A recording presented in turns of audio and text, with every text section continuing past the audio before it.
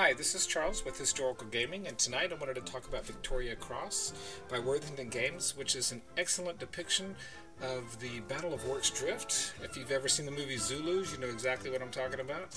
It is the uh, colonials trying to protect the hospital from Zulu warriors who decided to attack due to a treaty broken between um, the, the British and the Zulus and uh, it's an excellent depiction of 4,000 Zulu warriors coming in with spears to attack a bunch of British military guys protecting an army base, who basically are, uh, the object of the game is to protect the guys inside the hospital. So you're trying to rescue those guys once the hospital catches on fire, but you can't do anything about it until the hospital catches on fire. So initially, you're firing across the sandbags and protecting the compound from this onslaught of Zulu warriors that just keeps coming and coming and coming. It's a very difficult game to win, so don't expect it to be even for both sides.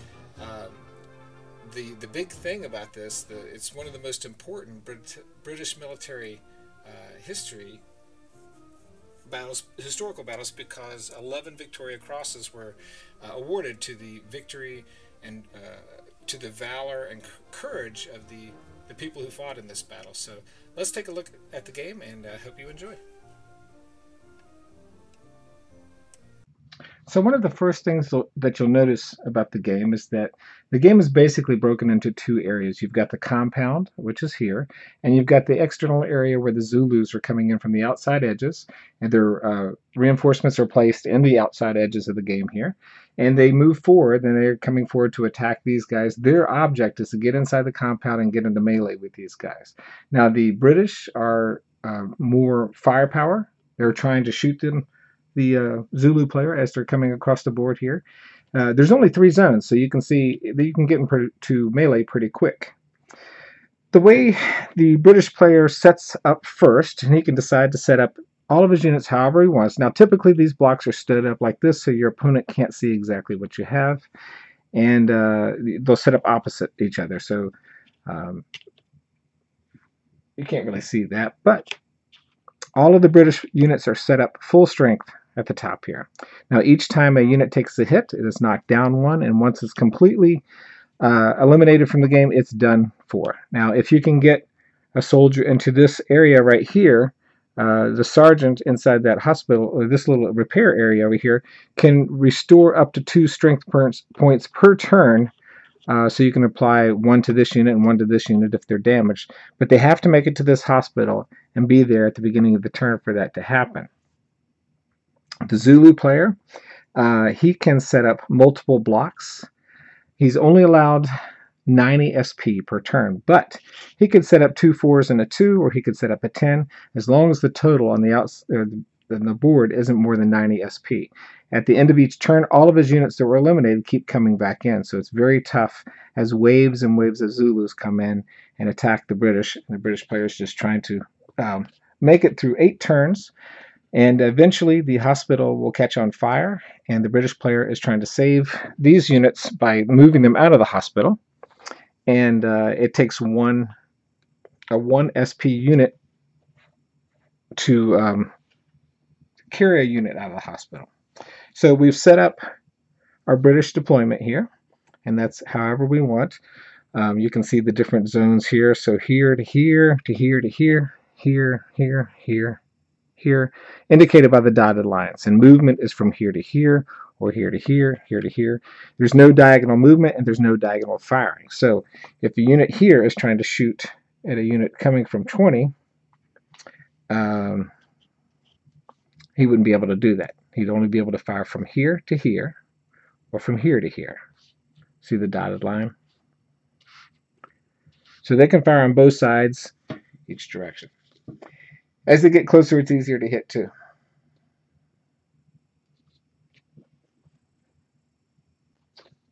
So as we talked about earlier, the game is 16 turns long, equally divided by 8 day turns and 8 night, night turns. Uh, and within each turn, there is the British movement phase. The British player adds reinforcements, uh, adds replacements, and they move may move any and all units following the movement rules. So, uh, like I said before, you can replacement is basically if you've got a unit who's been damaged down to one, and you can bring him back up to three, and during the movement phase, you can move him one space over back up to here. So this is one, that's one, that's one. Uh, if they, there is a leader with them, they can move up to two spaces. So Lieutenant Chard could extra. Um, let's say we've got a, a, guy over here who's damaged. He can ex. What was I'm trying to think of? He can help somebody up to four SP move into the hospital. Um, two zones. So that's one, two, and get to the hospital, do a repair, and then he'd have to wait till the end of the next turn before he'd be able to come back.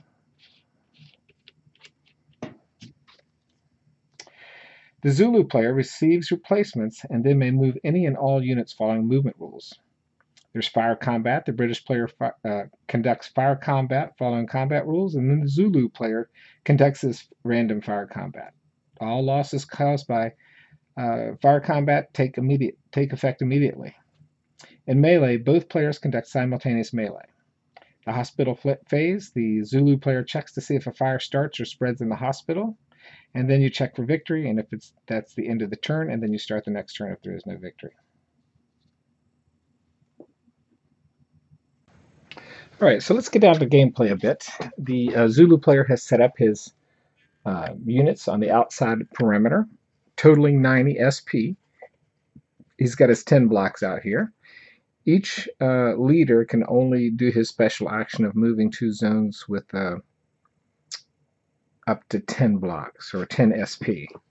So the British turn one is basically the movement phase has happened uh, during setup. Zulu replacements. The Zulus have moved their uh, Zulus onto the board. And now we do a Zulu movement. So this one can move one. He can move two. He can move one because he doesn't have a leader. One. One. He can move two, but he's behind the hospital here. So he can actually go over here. He can go two.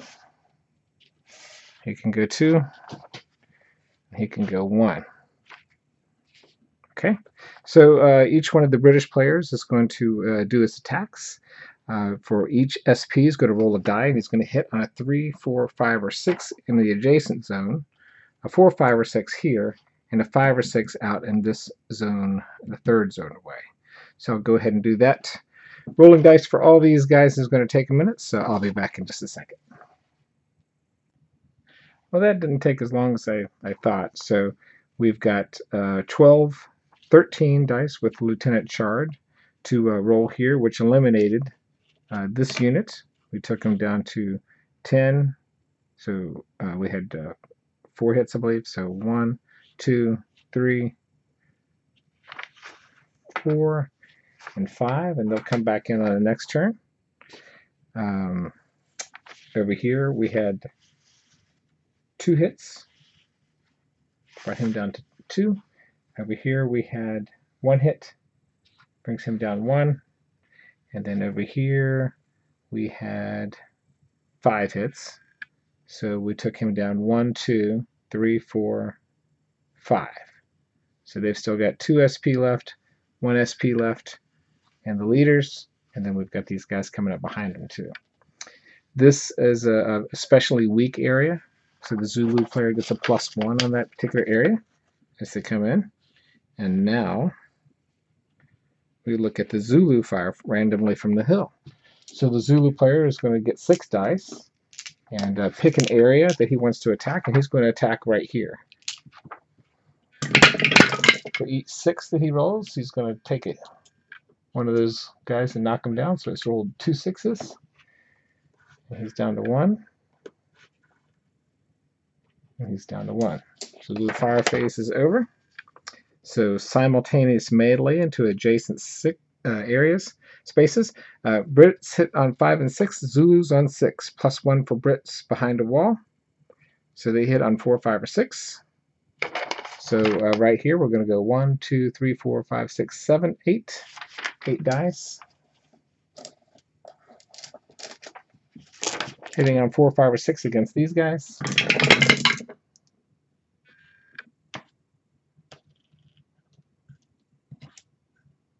So that's one, two, three, four, five. So that's gone. And that's it for melee. Uh, oh, the uh, These guys will get to fire back because it is simultaneous. And it was, I think, 2 SP plus the leader, so that's 3 dice back, hitting on 6s. And no hits. Okay, now it's the hospital, hospital fire. Uh, each turn after it is meleeed, so we've got a guy, I forgot about him, so this guy is going to attack the hospital. The hospital was left unprotected and zone in. Uh, I'm sorry, there is a guy there, but he's in the hospital.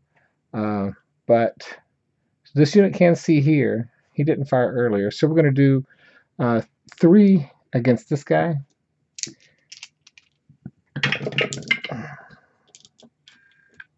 So that's one hit, two hits. And then for the melee phase,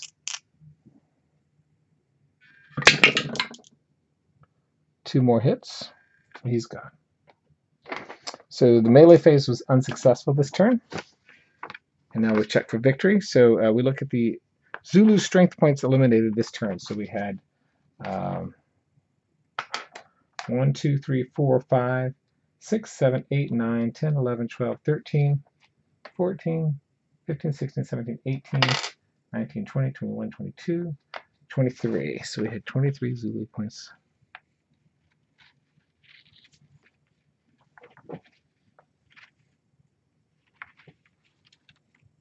23.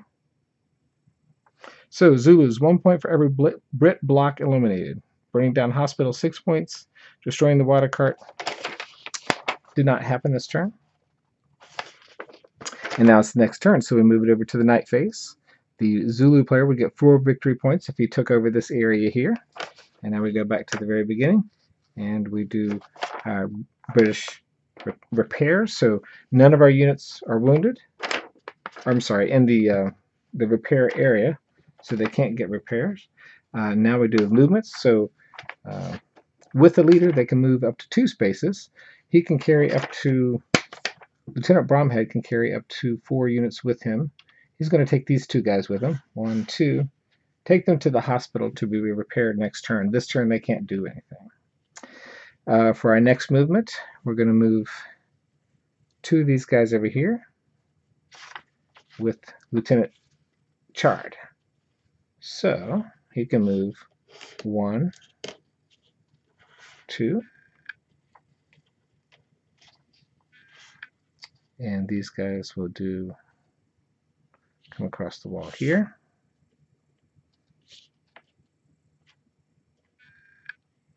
And we'll move one guy into N to make sure that we're protected there and we'll move him into P. Okay, so that's it for British movement. Zulu replacements come back into the game. So we're going to count up how many SPs we have on the board to make sure that we don't have more than 90 total. So I'll take just a second to do that. So as the game goes on, you will see that the British player is not able to bring back reinforcements except for 2 SP per turn here. And this is going to be a problem for him as hordes and waves and waves of Zulu players are coming um, towards him on the board and stuff like that. Um, so as these air, these guys will move back further and further into defensive positions, inside of D is important. Um, inside of this area here might help um, getting close to the hospital to be able to take the uh, units out of the hospital as the fire starts and stuff like that. Uh, the victory conditions. If the Brits avoid Zulu victory for 16 turns, they win. Uh, the Zulu's goal is 14 VPs, one point for every Brit block eliminated, plus burning down the hospital is six points. Destroying the water cart is five, and uh, five VP, four at night. And uh, last one occupying kraal, A and B is four points. Last redoubt, D10 is a, uh, see, 10 points. And if 47 Zulu SPs are eliminated in any one turn, they lose a VP. So last time we did 32, and that was pretty good, but still not quite enough. So it's a very fun game. It's a very good depiction of, uh, you know, that era, and uh, I like the blocks I like the map a lot, the way it looks. Uh, there was a lot of complaints about the the line of sight with this game, but it makes sense. If you've got a building here, you can't look at it as a blocking line of sight structurally. You know that this area behind here is not be able to be seen from here. You can't see from here to here. It just um, just try not to think about it technically, but where is the building? What's behind the building? And this area is more like a, a an area controls game where the the zone it's a zone behind a building. It's not necessarily a hex behind a building like some other games. Then, as the uh, hospital catches on fire and uh, you're trying to save these guys, it gets kind of fun. Um, so if you get a chance to play this game, it's very good. Um, it's light. It's lots of dice. It's uh, got lots of different victory conditions and things to think about.